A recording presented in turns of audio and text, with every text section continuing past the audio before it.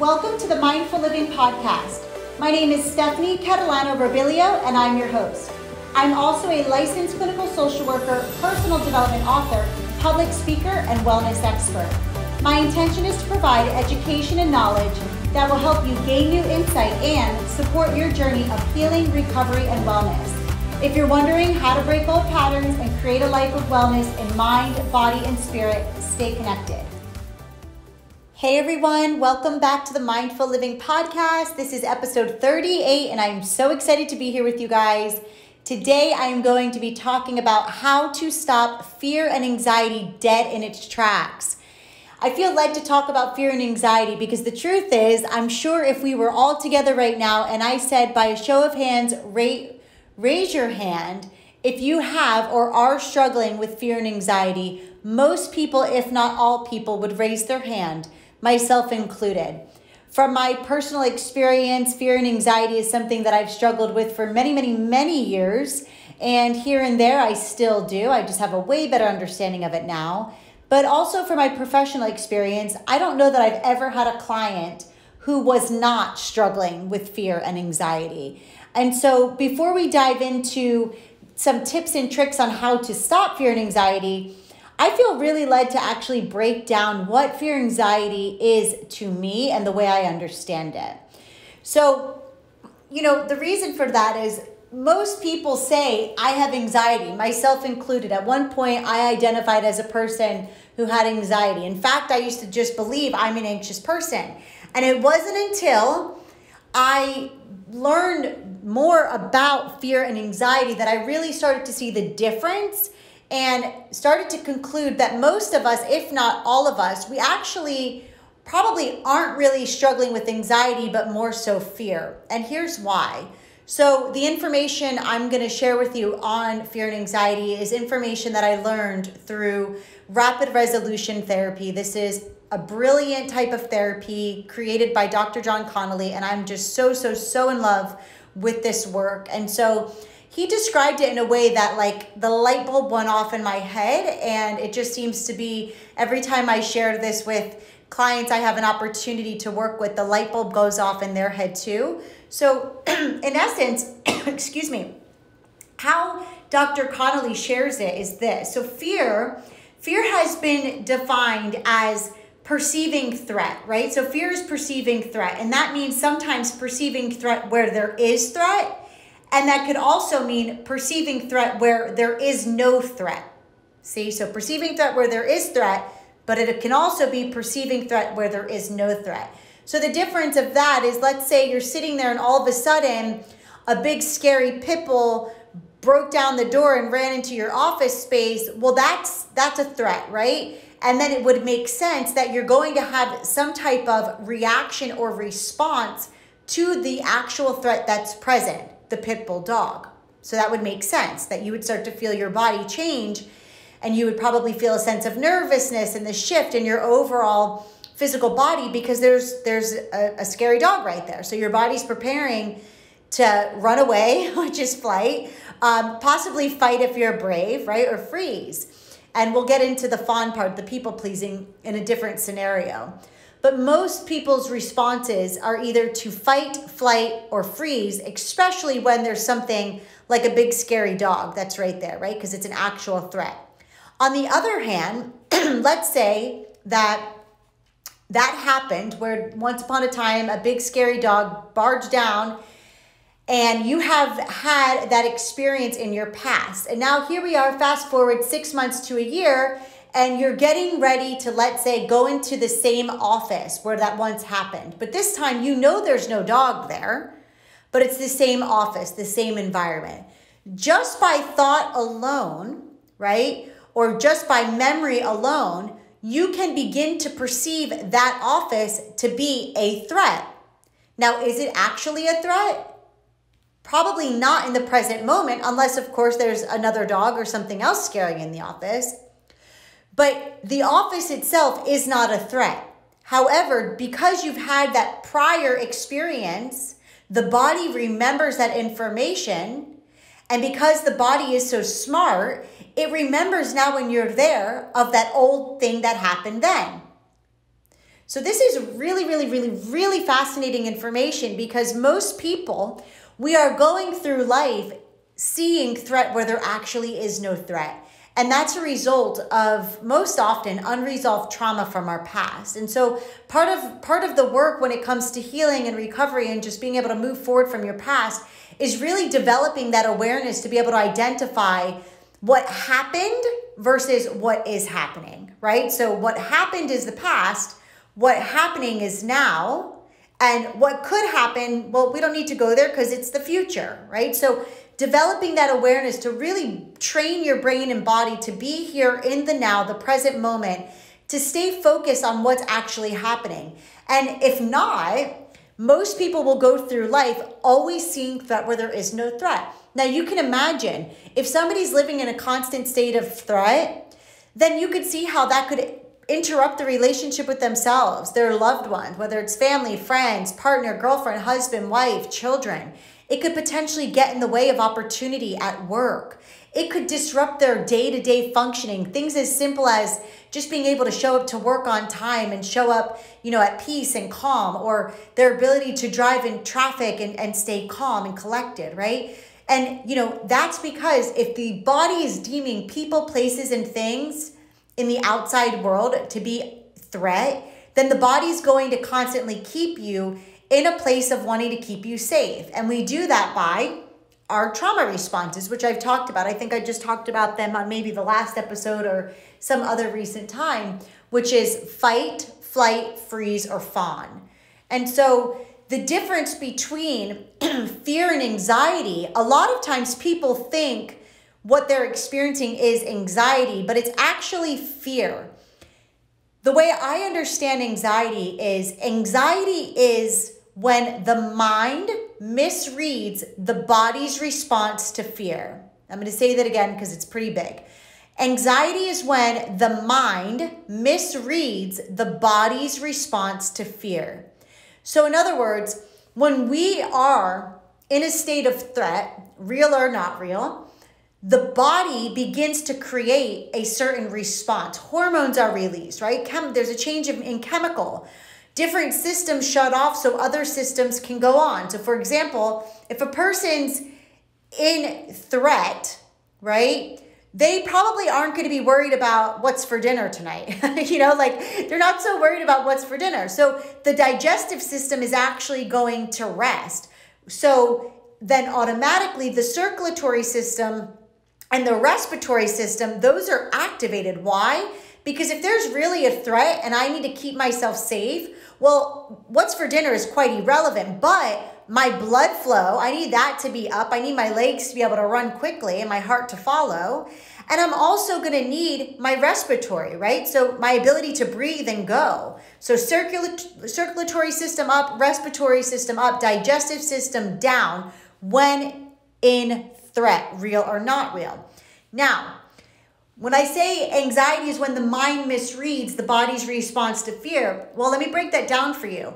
The body's response to fear is exactly what I just said. Digestive system goes down, other systems go up. So you might begin to notice your heart starts to beat faster. Maybe you start to feel hot, like temperature hot. Maybe your cheeks even turn red.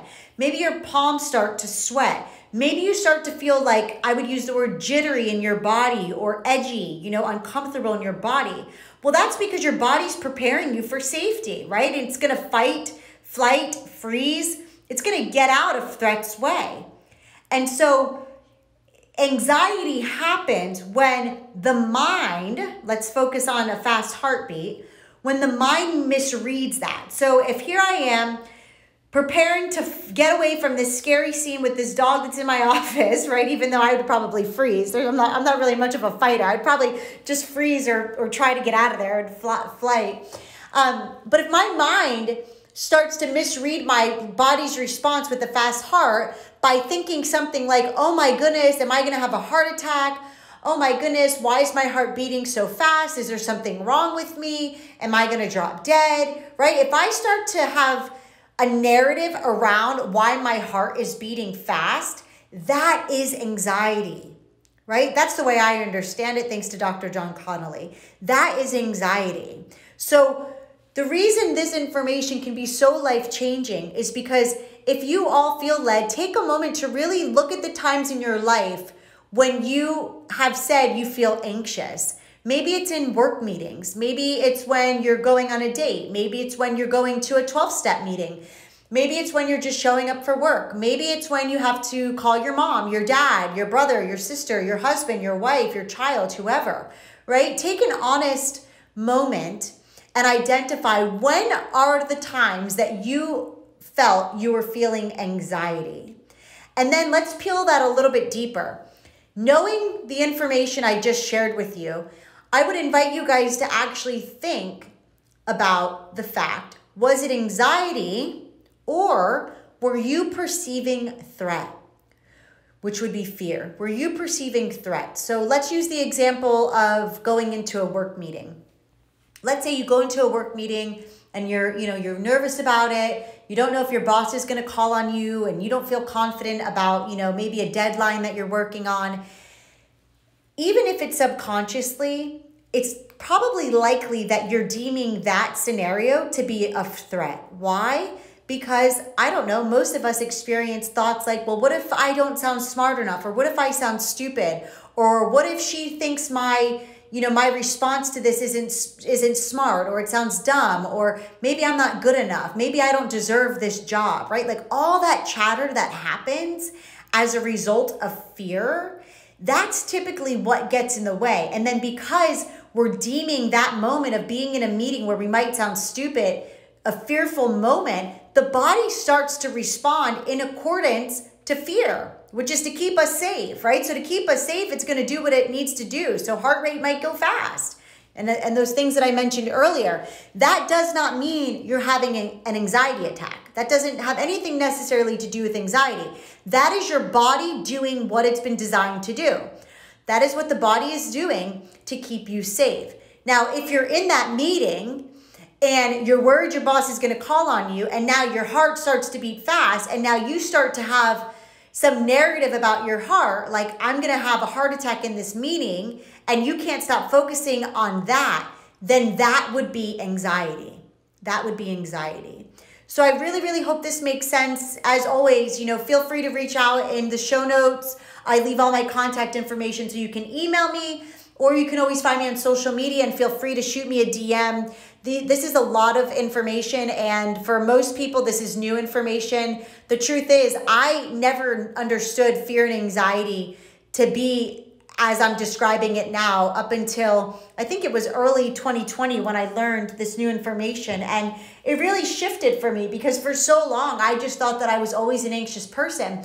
But when I took an honest look at myself and I peeled back, you know, my the the the, the onion, as they say, I really concluded that everything for the most part that I experience in my life then and even sometimes now, it's really fear driven you know, it's it's the fear of failure, it's the fear of not being good enough, it's the fear of being left behind, the fear of rejection, the fear of you know wanting to to, to be approved, and you know the fear of people not liking me. You know, all that stuff that I think most of us, one way or the another, one way or the other, we can agree that you know we. I think I, I've said this many many times on other podcasts and even in person and with clients that ultimately we just want to be seen, heard, and loved, seen, heard, and loved.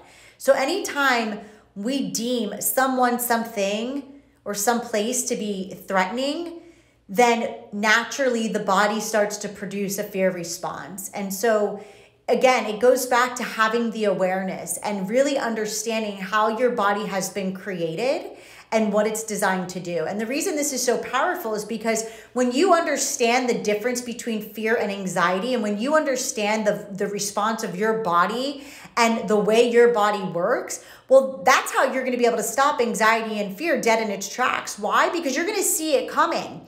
And when your mind tries to play tricks on you, you're to be able to you're going to be able to identify, whoa, whoa, whoa, not today, mind and body. I'm smart enough, I'm wise enough to know the difference between fear and anxiety. And I have the insight to be able to not only the insight, but the intelligence to be able to teach my body right here, right now, that there is nothing to fear right? There's nothing to fear. There is no actual threat. It's very different if there is a real threat, but more often than not, people are going through life living in a constant state of fear and there is no threat. That doesn't mean that there won't be threat. Life happens, right? There's car accidents, people die. I guess it's true that we might end up, you know, crossing paths with a big scary pit bull who got off the leash. You know, yes, can these things happen?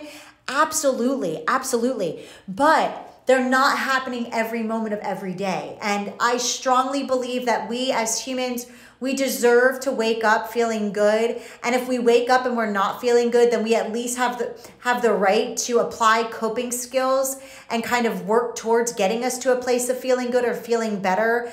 I used to live many, many, many, many years in a constant state of fear, stress, and survival. And I do not miss it at all. There's nothing fun about it. Even the moments now when I start to get stuck in my fear based thinking and then I feel out of sorts in my body, it's not a good feeling. It's like you just want to be able to shake it off and move forward. But the point I really want to highlight with you all is understanding the difference between fear and anxiety, which we covered, and stressing that when I say learning how to stop fear and anxiety in its tracks, it comes down to awareness. It's this isn't like oh I'm some magician that's going to be able to abracadabra boom it's gone, right? No, that's not necessarily realistic. But it's about keeping it simpler than we tend to make things. In, in general, we as humans, we tend to overcomplicate everything. But this is about learning how to slow down, right? Give yourself to slow down. Take a look at what are the things that you once thought were causing you anxiety now, knowing this new information, go a little deeper. Do you think it's actually anxiety or was it fear, right? Were you perceiving a person, a place, a situation, or something to be a threat, right? And if so, then try to make sense of what you were feeling in that moment, knowing it actually does make sense. It makes perfect sense that the body's going to respond in a way that can feel uncomfortable if we're thinking there's a threat in the room, right? We're not going to be sitting here feeling all calm, centered, and at peace if the body's deeming there to be a threat. So take time to do that. I think that that's a little exercise or an assignment that can be really helpful. And then just some other small small little tips is is just remembering the power of our breath. You know, it's just amazing to me that we've been given every single thing that we need we have access to it at our fingertips. It's all in our body. It's through our breath. It's through our senses. It's through the, through our mind, our imagination, our focus. But we sometimes misuse it, and we tend to be the person who gets in our own way, and we tend to create so much unnecessary fear and other unpleasant emotions. So don't forget that when you're struggling and you're feeling maybe fearful or you're seeing threat and you're, you're, you're having some type of response to that and you're wanting to calm yourself down, use your breath. I cannot stress enough. You know, I just said this today um, on, on, on a little another moment I was having where we were talking about mindfulness and mental health. And I said, you know, I, I one time read on social media and I just love it. Somebody wrote, every time we deliberately take a breath, it's like giving your body a little love note. And I just think that's so beautiful because it's so easy, right? I mean, no matter, you could be in the car, you could be in a meeting, you could be at home, you could be in the grocery store. It doesn't matter where you are. If you're ever feeling like you're not safe in your body and you're feeling out of sorts, just take a moment to notice where you are, connect to your breath, breathe in and out. It doesn't have to be for long, three to five times, right? All the way in, all the way out. You do that three to five times, and I guarantee that you will begin to notice little subtle shift, shifts within you. And then, like anything else, the more consistent you stay with some of these small practices along with ongoing awareness, that's what leads to the bigger outcome. So, utilizing your breath because it's right there at your fingertips, utilizing your senses, right? Every time we start to see or feel threat, it's typically because we have left the present moment, right? We left the present moment. So use your senses to refocus on the present moment. And that could look something like taking a moment to just notice what do you see? What do you hear? What do you feel? What do you taste? What do you smell? And take time really focusing on that until you actually recenter and reground yourself in the now, in the present moment. That's super, super helpful. So, breath work, connecting to your senses. And as they say, be where your feet are. Do your best to just stay focused on what's actually happening in the present time, understanding the past is the past. We can never get it back. The future is not here, so it serves absolutely no point to worry and stress about it. And the power is truly in the now. Each and every one of you, as always, thank you for tuning in. You should be so proud of yourself for taking the time to have this moment. Hopefully, it's filling your cup up just a little bit of you know information and education that can really create a change within your day-to-day experiences. So i hope that you found this helpful. And i kindly ask that if, if, if this resonated with you please leave me a review or reach out to me. I would love to hear your feedback any questions you have. But as somebody who is recovering from trauma and all the responses i've learned along the way I really, really, really, really believe that each and every one of us, we deserve to experience a life of peace. We deserve to feel safe in our bodies. We deserve to show up feeling good and, and having confidence and not feeling like we're always on edge or in this constant state of worry. Like there's nothing good about that. And life has so much to offer, and the world is absolutely beautiful, but sometimes we miss out on so much because we are stuck in this constant state of fear. And so here's to releasing fear and choosing love, knowing the truth is in love and love is the only truth. I love you guys. Until next time. Thank you for joining me today. If you found today's episode to be insightful and inspiring, subscribe so you don't miss out on the next one. And I kindly ask that you please leave me a review so together we can help the next person. To learn more about my products and services, check out www.themindfulliving.com and come connect with me on Instagram at mindfulliving.now, where I share daily inspiration, mindful skills, tips, and more. Until the next episode, stay mindful and always remember the power that lives inside of you.